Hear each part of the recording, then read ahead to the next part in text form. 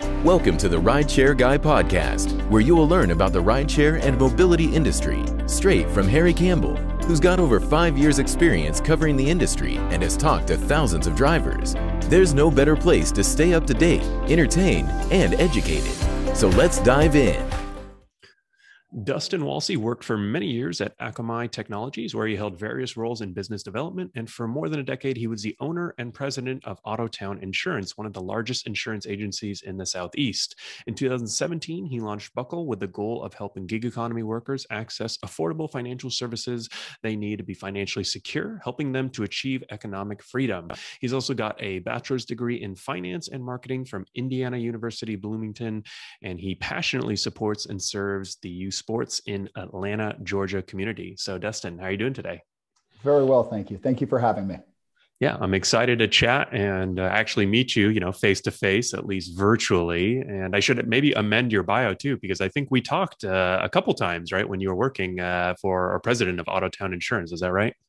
Yeah, I mean the the idea of Buckle came originally from Autotown Insurance. So, uh, mm. with you being a thought leader and an information source for which started as rideshare and now you know the greater gig economy very familiar with um, the information that you put out and uh, as a, an incredible resource so yes we've talked before uh, from time to time Yeah, no, I appreciate that. And it is actually kind of funny. You're the second guest uh, I've had on recently. Actually, uh, our, our, friends over at Argyle, one of their co founders, uh, Billy Marsden, he used to work at a consulting firm and he reached out to me for some consulting work several years ago. I mean, more than several, maybe four or five years ago. And then did some other stuff and then went and launched this company argyle that's very relevant to what you and i both do. And so it's sort of funny to see that uh, come full circle. But um, tell me how did you you know kind of make that transition from autotown insurance? I pulled up the web- website right here for autotown um, and i mean this seems more like a traditional insurance carrier and now you're obviously still in the insurance business but you know kind of running what i think of as more of a startup. How did that transition even come about or how did you start thinking about it Autotown Insurance, where I began my career in the insurance industry, is traditionally a, a broker fo- brokerage focused on wheels in Atlanta, Georgia. and in you know roughly 2010, 11, I started insuring a multitude of you know commercial lines, but a mm-hmm. very heavy focus on taxi and limousine. And what started to happen in the late 2010s, all of a sudden Uber shows up on the scene. And I'm like, what a great opportunity. Uh, and to refresh your memory, as you know, Uber started in the black car business. Yeah. So I physically would just hail an Uber, mm. hop in the back of one of the vehicles, and I would sell a commercial auto insurance policy to these drivers. Mm. Next thing you know, I wake up and I am insuring the vast majority of all the limousines or black cars in Atlanta and the greater state of Georgia. Mm. Well, one day, UberX shows up on the scene and it's people using their personal auto to drive yeah. people around. And being in the insurance business, that became a challenge because when people use personal auto in a commercial yeah. fashion, it creates a, a, a, lot of problems.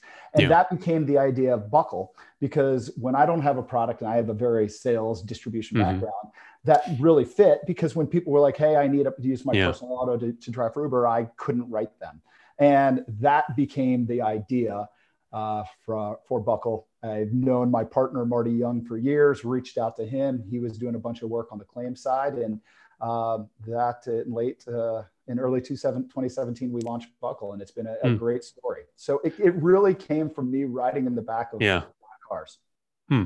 Very cool. Well, you know, the reason why I want to have you on was obviously to discuss Buckle. But I think before we dive into the details of Buckle, I have to stop you right there and just I say, I guess in one way commend you, but also just uh, ask you about you know your your travels in the back of those Ubers because you know I actually think that that's a great acquisition strategy for certain products and services. I mean, especially insurance. You know, that's gonna be higher dollar value amounts. You know, maybe not for a free download of an app. You might not want to go into the back of a bunch of Uber cars and try and convince the driver drivers but um, you know even then i, I guess what what uh, kind of motivated you to like actually take that step and go physically and do that in the back of cars of drivers? Because I, I suggest that to a lot of people you know to get out and kind of you know put yourself out there ride in the backs of ubers but i feel like a lot of people in today's day and age just from a sales perspective want to keep things digital they want to go on facebook groups or they want to email people or call people.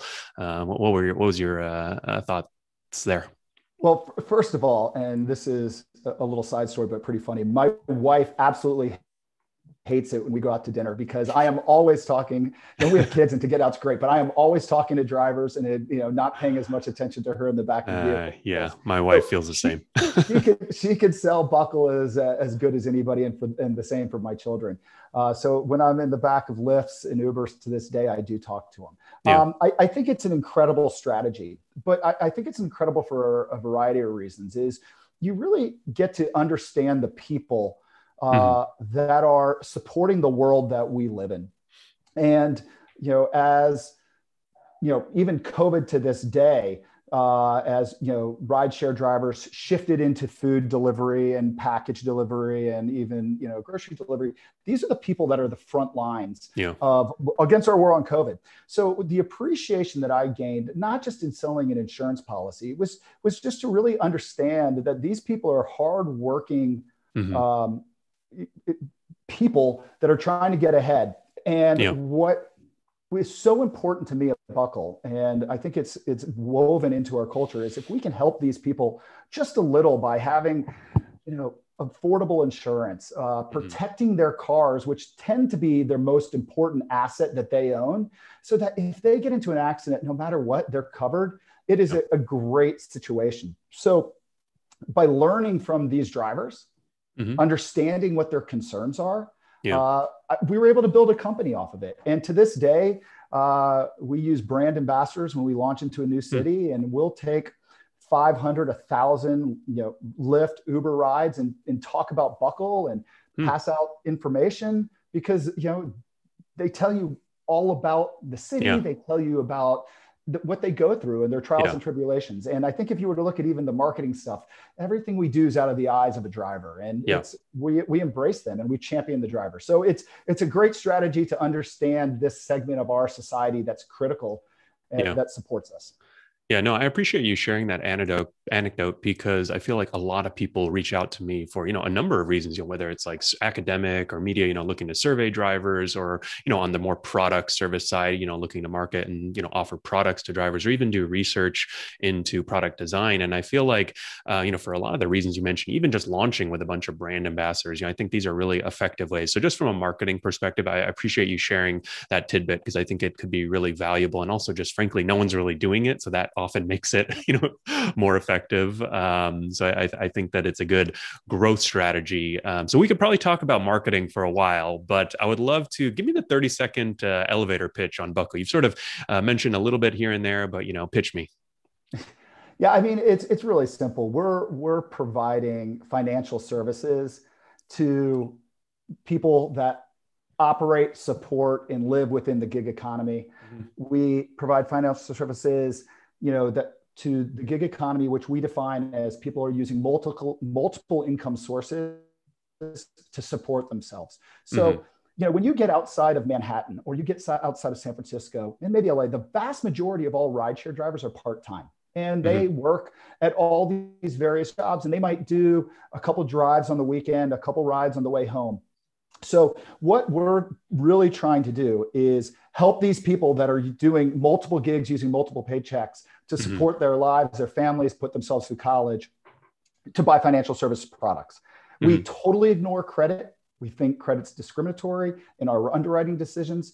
And we try to support the people that we say are caught in what we call the, the, the credit score trap, right? Mm-hmm. If you're not a prime or uh, a prime risk or a you know yeah. a, um, a standard risk, you pay 50 to 100% more for your insurance. You mm-hmm. pay you know two three hundred percent more for your leasing or your car loans so our goal is to segment these drivers help these drivers buy affordable financial products starting with insurance and then leasing to follow on after that Got it. Yeah. And so you've mentioned a couple times financial services. You know, I guess I have thought of up until now a Buckle as an insurance company, and it sounds like that's maybe your main product. But I mean, tell me more. What what are the financial services that you feel you know folks in the gig economy kind of need, or coming to you, or that you're looking at offering? Yeah, the, the, obviously we started with insurance. Mm-hmm. It's a huge need that everybody has. But the second piece is credit in the form of leasing.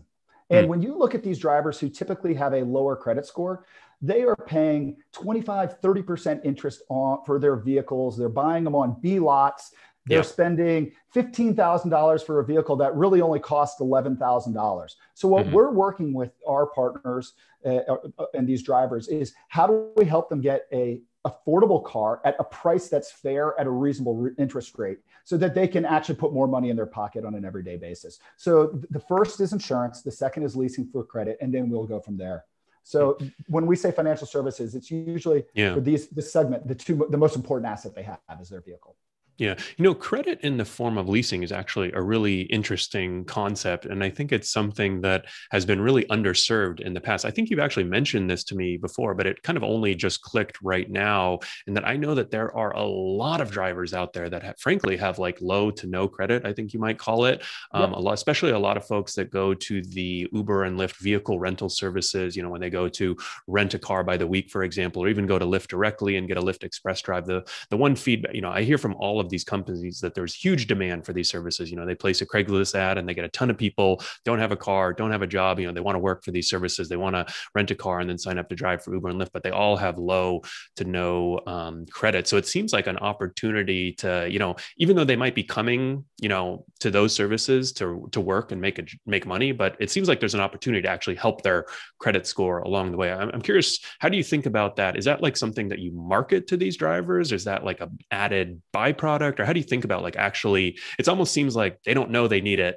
until they start you know getting it right well the first thing is we look at all of our uh, customers as members mm-hmm. and how do we support these members and what we are starting to find and what we have found in the past is that they outperform their subprime or their their lower mm-hmm. credit score so by using different sets of data we're able to actually segment them out and help them get a vehicle from a reputable dealer at, at a reasonable interest rate and, mm-hmm. and, build equity into that asset that's theirs right versus the alternative of, of what they're doing and, and, for us it starts with insurance working with them understanding how you know th- they use their vehicles and then mm-hmm. and, then migrating into leasing because again i mean it's the, the entire ecosystem needs vehicles as well yeah. Um, and I, I want to get into some of the details of that, but I think it might be helpful at a high level. Can you share a little bit about where you're operating? And, you know, if you want to share numbers about how many drivers or products, I mean, it sounds like mainly what you guys are looking um, for insurance or offering insurance to your members right now. Can you give us a high level of where the uh, company's uh, at? Very specifically today, we're in Georgia, Tennessee, and Illinois. By the okay. end of Q2, we'll reach a little more than 30% of the US population as we roll into additional states like the DC metro area, which is a tri state market, mm-hmm. Texas, and some other states. So there's rapid expansion coming uh, in you know, the next 90, 100 days um, and rolling into really big states where there's lots of people and demand. Got it. Yeah, no, that, that's helpful. So not available everywhere, but in close to 30% of the country very soon. And I yes. think if you got you guys have been raising some money, so I assume that you know you're on the the war path to quickly expanding more and more places. It sounds yeah, like. Yeah, I always caveat this. The challenge with insurance is it's regulated at the state level. So it is yep. a state by state by state process. so it's not like just one day we want to say, hey, we want to be in California or let's go to Texas. We have to go yeah. through an entire regulatory process the state governments vest us, vet hmm. us mm. to make sure that we're financially stable, that we're good for the state, we're good for the their you know constituents in the state. So it is a process, and as me who wants to go as fast as possible, there mm-hmm. is a uh, uh, a slower rollout than I would obviously want. Um, leasing yeah. we can move a little faster because it's a different regulatory framework, but uh, it is the challenges of living in a uh, regulated uh, industry. Yeah, well, I think you're going to have to get used to that if you're going to you know head up an insurance company i think you're probably already well aware of that. And i have i will say you know i remember one time i was meeting with some folks at uber in san francisco in their corporate office about one of the topics we discussed was insurance. I remember sitting on the table was probably a, a stack uh, like a packet of 150 pages of paper maybe more. And they told me there was some sort of insurance filing for the state. And ever since that you know image kind of stuck with my head i'm like oh my god every time a company wants to launch you know a new product insurance product in every single state you know it's like they have to do some 150 page filing. I don't know. There's probably more to it than that, even. But I just remember seeing that physical 150 pages on a table. we we invest heavily in our in our regulatory and compliance team because it is a lot of work. It's a lot of detail. Yeah. But uh, it's it's going to be worth it in the end. How big is the company right now? Uh, you know, we're just under 100 people. Okay, cool. So um, yeah, growing fast Yeah, it, it is interesting. I mean, you guys started off in Georgia. You know, one thing, um, I mean, I, am curious to know why you started there. I assume it has something to do with you being based there, but also, you know, I will say, you know, most companies that are launching products or services for drivers uh, tend to go for the big markets first, you know, the LA, the San Francisco, the Chicago. You said something er- earlier that was interesting to me about kind of going after those middle of the road. I don't know how you described it, you know, but the kind of gig workers in the middle, you know, maybe not the full timers, you know, more of the part time. Uh, can you talk a little bit about why? Why you, you know, sort of your your launch strategy, I guess you would say, and kind of how and why you picked Georgia and where you're going from here? Well, I'm born and raised in Atlanta, so okay. being from here, there was a, a, natural starting point, and Got it. Uh, isn't that small of a city, even though it's not in New York or Houston or Chicago. But that's true. Biggest airport it's, in the world, I want to say. it, it is. So there's there is a a very good uh, ride share market here. So that, yeah. that really helps. But again, I think you touched on it a second ago is we're really focused on the part-time driver mm-hmm. um, because they have a whole different set of requirements than someone that's driving their vehicle 80 hours a week. Mm-hmm. Depreciation plays into it differently risk yeah. is different because most people would agree the longer a vehicle's on the road the higher likelihood it would be to get into an accident mm-hmm. so we we we play more so into the part-time driver which is you know 90 92% of all drivers in north america mm-hmm. um, you know because when you live in Dallas, Texas, or Kansas City. Right. You know, those those tend to be part-time markets. Um, so that's that's definitely a big piece of our strategy. Don't don't get me wrong. We will be mm-hmm. in supporting drivers in our taxi limo program in, yeah. in our black pro- in you know, Manhattan and San Francisco and the big cities. But uh, that was the initial start. Yeah. Well, I think it is interesting to think about this part time versus full time, you know, sort of really difference, right? Because as you mentioned, some of the actual, you know, vehicle needs, right? The way you think about depreciation and the marginal expenses are different for a full time driver versus a part time driver. And I feel like a lot of companies, you know, I'm thinking, for example, like in the rideshare advertising space, they tend to want drivers who are more in the big cities, who are really like more the full time drivers, because they're going to be on the road more often, you know, running around with billboards in the places, you know, where the the target demographics are, um, you know, seeing their ads, for example, right? But I think you're also in a position where the majority of drivers, um, you know, are part time, as you mentioned. They may not, I, you know, actually, we've kind of studied this, and they don't make up, you know, that small number of full time drivers make up a majority of the total hours and total trips on the platform. But it sounds like you maybe potentially don't care about that as much. Um, it sounds like you know the more members that you can sign up, you know, because those are those part time drivers. Actually, the kind of strategy right now. Is that how you're thinking about it? Yeah, and these are you know teachers that might drive in the summer. Mm-hmm. They're uh, they're people that work you know at a CVS or in a call center that are doing extra hustles on the yeah. side to, to to pay for things and get ahead in life. And you know that's that's our core focus. Um, those, those full-time drivers they just have a whole different sets of needs uh, mm-hmm. whether it's on their vehicle whether it's on their insurance and we, we're definitely aware of them and we're definitely try to we try to serve them we do have a tac you know a black car full-time product but our core mm. focus to start is on this part-time driver and, yeah. and that's the vast majority of those drivers in the markets that we we really operate in Got it. I think the only other thing that might be helpful, the only other definition I'm going to ask you for is okay. for those who may not be aware, can you explain what rideshare insurance is and sort of why it's so important for gig workers and all these members that you're signing up? Yeah. So what Buckle does and what rideshare insurance in our world is, is a mm-hmm. commercial mm-hmm. auto policy that mm-hmm. allows for heavy personal use. So when you buy a Buckle commercial auto po- or a Buckle hybrid policy, which we call it, it mm-hmm. covers you on whether you're driving for rideshare, whether you're driving doing food delivery, whether mm. you're running an errand on a road trip for vacation, you know, taking your kids to baseball yeah. practice. So it provides complete coverage for the entire use of the vehicle. So the driver mm-hmm. doesn't have to worry, am I covered? Am I not? Yeah. Is there a $2,500 deductible? Is it a $500 deductible? Yeah. It is very easy to understand. It's very affordable. Um, and, I, and, and in fact, Lyft actually pays their drivers more if they have a buckle policy. Hmm. Interesting. How does that partnership work? It, it's great. You know, we, we work closely with them to you know market to their drivers because mm-hmm. their drivers see a huge benefit and you know and if it's good for Lyft it's good for their drivers it's good for the entire ecosystem So I'm a Lyft driver in Georgia, for example, and mm-hmm. I sign up to drive with Lyft. I've got, let's say, Geico insurance, and I get an email from Lyft talking about Buckle. What's the call to action? It's to sign up with a Buckle policy that would replace my Geico policy, and now I save every mile that I drive with Lyft. Is that kind of the gist of it? Absolutely. So again, the Buckle policy, and this is important, mm-hmm. replaces any policy that the driver has as a single yeah. policy. There's no rant, there's no ride share endorsement that co- has some coverage or not. And then we work with our distribution partners, which are the ride share companies and the food mm-hmm. delivery mm-hmm. companies, to, to, to market our product because it's good for them, it's good for the drivers. And in some instances, that you can earn more per trip mm. if you have our policy versus the alternative. So it's it's just really good for the the transportation companies and it's really good for the drivers and it's good for the ecosystem.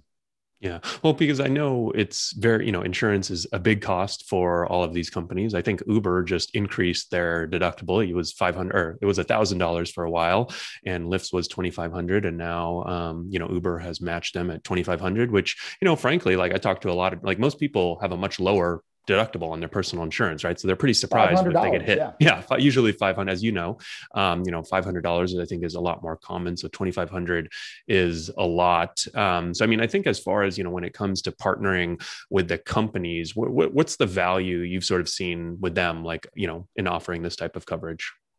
Well, I think I think what you just said there is really interesting. I want to step back a second. So our policies have a $500 deductible. $2,500, okay. by the way, when you get into an accident is a lot of money. It's I, a lot of money. Dustin, I was being nice. It's like crazy expensive to be perfectly right. blunt, you know? and, and, and, and, not only that, when they get into an accident, they're losing their vehicle, which they help right. use to pay for that accident, right. you know, for that said deductible.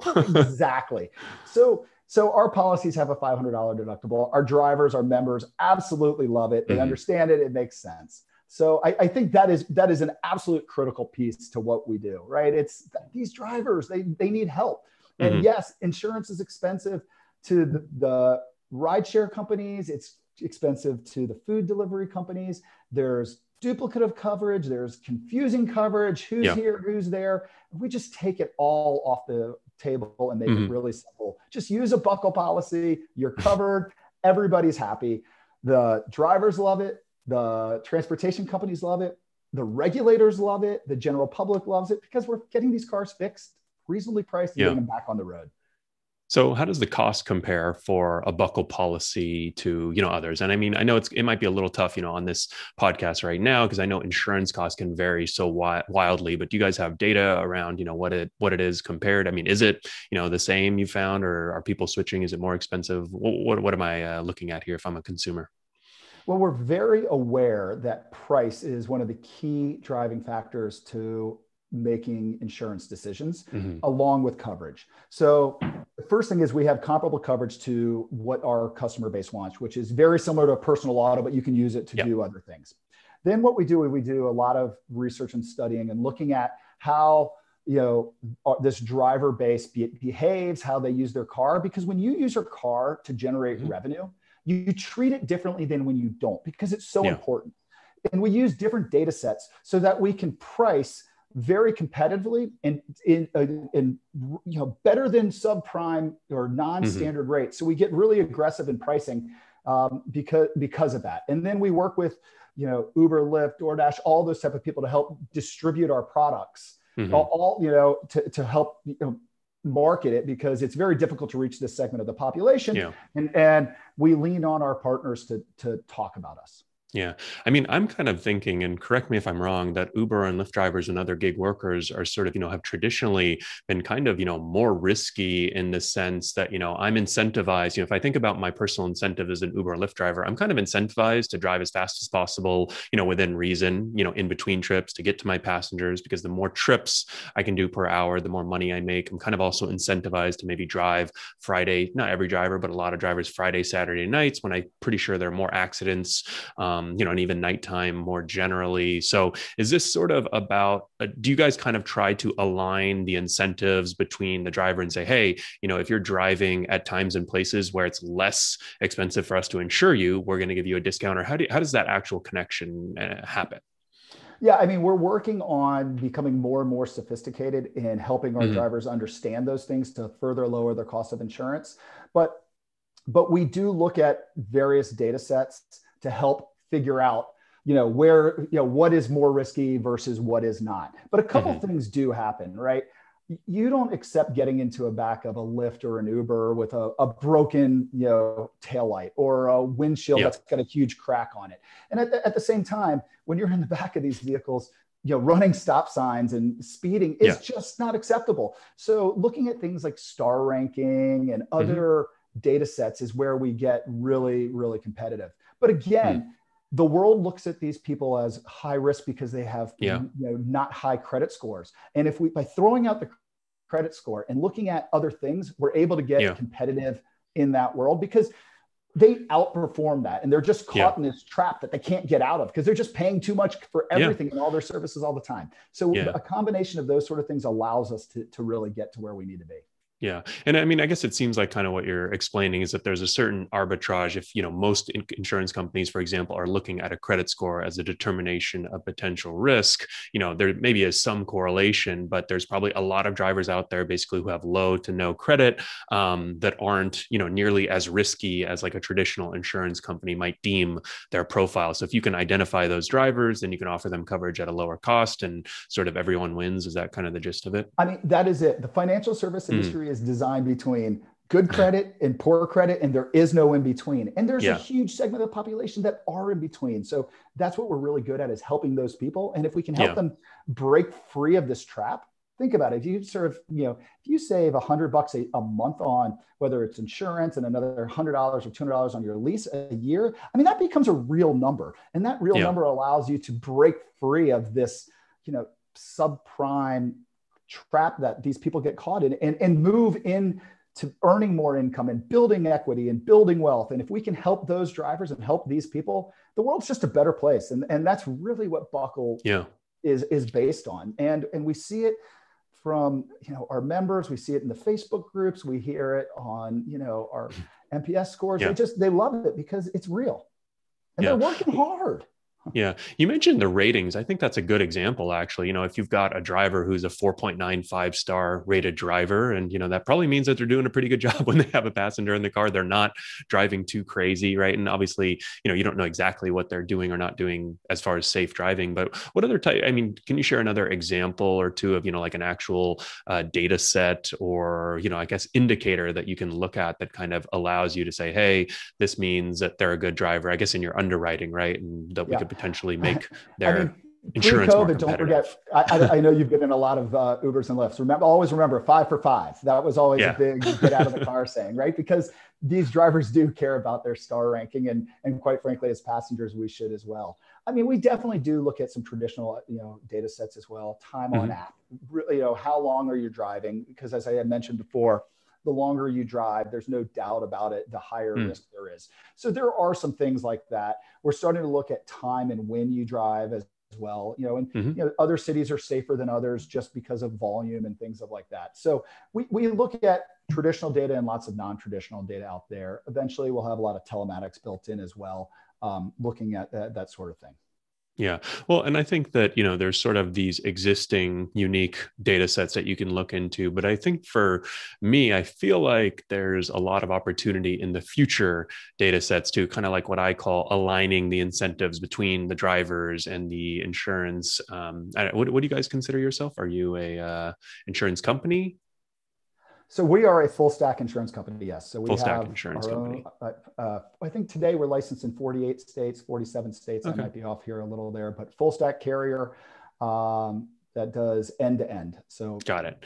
So I, I, really think that there's opportunity, you know, to sort of align the incentives between the driver and the insurance company or carrier, right? In the sense that, you know, hey, if I'm a driver and there's certain times or places that I'm driving that are more profitable or less profitable, you know, and kind of balancing that with the potential insurance costs, for example, right? because I think a, a lot of people don't realize just how expensive the insurance can be. So that's definitely one thing, you know, I'm kind of uh, excited, you know, and kind of building in the telematics piece, right? I remember I test drove drove a Ford Fusion hybrid once for a, a cool campaign we did with Ford, and they had this really cool braking score, right? Because they used regenerative brakes in the hybrids, and so every time you came to a stop, it would give you a little score from zero to 100. Right. You know, and if you got to 100, that was a perfect slow, smooth t- stop, which is great for safe driving, but it also is good for regenerating the brakes, which then helps your miles per gallon, right? And so it almost sort of gamifies that aspect, but there's some, you know, mutual benefit, right? If you're always smooth braking, that's probably a lot safer, you know, from an insurance underwriting perspective. So I feel like there's a lot of that cool stuff that's out there. I don't know if it's quite translating into actual insurance products, but I do feel like uh, Uber and Lyft drivers are, you know, a good candidate for some of this stuff. I, I think you're going to see the, the entire insurance industry shift away from credit and find other data sources mm-hmm. because I, I, think the world wants that. Regulators yeah. want that, and um, you know we champion that because yeah. credits because it's just discriminatory. Yeah, it is what it is. All right, Dustin, bonus question. Uh, tell me about the leasing program because this is something that I think is really interesting. And I think we're seeing, you know, more and more drivers, uh, you know, lease or rent their cars um, on a weekly basis. Tell me about your leasing program at Buckle. As, as we advocate for our drivers, just like insurance, we realize that the car is these people's most important asset. Mm-hmm. So how do we get them better, safer vehicles that everybody likes, right? I, as a passenger, I want to be in a newer, safer vehicle that has better brakes, better tech at the same time. Yeah. The drivers want better, safer vehicles that have better mileage. Maybe they have bigger vehicles where they can make more money. And then Uber, Lyft, and all these people want safer vehicles. So what we're able to do is using, you know, going to our members and yeah. working with them to be able to, I, I think I said a few minutes ago, buy a car that a they can afford, that mm-hmm. they're paying a fair market value at a reputable dealer at mm-hmm. a reputable interest rate. So they're not getting taken advantage of because they have mm-hmm. a mm. low credit score. And what we're doing is we're getting these people all these vehicles, newer, safer vehicles that they build equity in that mm-hmm. then allows them to earn more money and the whole nine yards, right? The, the difference between buying a car at a 12% interest rate ver- yeah. or 15% interest rate versus a 30%, which is very common to these drivers. I mean, it, it's just a ripoff. And and we're fixing that problem along with it. So again, cheaper insurance, affordable yeah. vehicles, safer vehicles, better vehicles. And, and, it's like little things. If you can upgrade a four door sedan into a minivan, all of yeah. a sudden you can just go from, you know, standard, you know, Uber and Lyft into the XL Do program and XL, earn more yeah. money. And it's just, it's just the whole thing works better. So, so, are you looking for brand new folks to the platform and you know kind of getting them in in the leasing program? Or is it typically you know people come to you they already have a car they get insurance from you and then now they've got the chance to sort of either upgrade you know either a better car um, you know or a bigger car whatever it might be through your leasing program? Today we we start with our members and if you're a member of buckle we'll work with you. Um, hmm. you know next year i don't know how that will change but today it's it's something what we're trying to provide for our members very cool. Well, good to know. Appreciate it. All right. Awesome. Yeah, very cool. Well, really appreciate you coming on, Dustin. Um, before I let you go, what, what's the future hold for Buckle? You talked about some expansion. You talked about some cool, uh, you know, updates to the product. What, what should we look forward to? Uh, first, first of all, you know, rapid expansion. I think I mentioned, you know, yeah. the next, you know, 90, 100 days, uh, moving into a, a, bunch of more states. I think you'll hear some more strategic partnerships launched um, in the coming you know months, mm-hmm. which are very exciting. Uh, a big growth into food package delivery uh, because they're a very similar driver. Yeah. Um, you know, they're very part-time drivers as well because people only more more part-time in, in, that space. It's a little harder to be a full-time driver in delivery. Th- space, that's right? right. That's right. Um, funny enough, there are a lot of introverts in the food delivery space versus extroverts in the rideshare space. So it's a different, it's a different customer base. Yeah. Um, and then the expansion of our, our leasing program um, at hmm. the end of the year here as we really take, you know, that really takes off. But um, just just a lot of excitement at the company because you know, uh, you know, Uber, I think yesterday or today had one of their largest, you know, March was the yeah. largest month they announced. And thank God COVID's you know coming to an end, and I think there's going to be some amazing light at the end of the tunnel. People, it's there, and there's people moving around, and that means Uber and Lyft are doing well. But at the same time, our habits have changed. We've learned that we like our food delivered, we like our packages, yeah. our you know our our drugstores are delivering to us, and this this segment of the population is just expanding so fast, and it's here to stay, and it's not going around, and it's how do we continue to serve these drivers, advocate for these people, and really help them who support the world that we live in. And that's really the the the focus for the next, you know, call it the rest of the year and, and beyond. Very cool. And so, if folks want to learn more about Buckle, um, what's the best place to follow uh, Buckle, find you guys, and I guess get a quote if you're in one of the states? We're in all the traditional social media sites, you know, Facebook, Twitter, but you can find us at buckleup.com and, and get a quote and, uh, you know, purchase a policy. And uh, we'd love to have you join us. Very cool. Um, well, Dustin, really appreciate you uh, coming on and sharing uh, what's going on with Buckle and everything you guys are working on in the future to help uh, gig workers. I'm always a fan of featuring companies that are helping gig workers, and you guys are doing just that. We're trying, and I hope to see you in person sometime this year as well. Sounds good. Thank you for your time.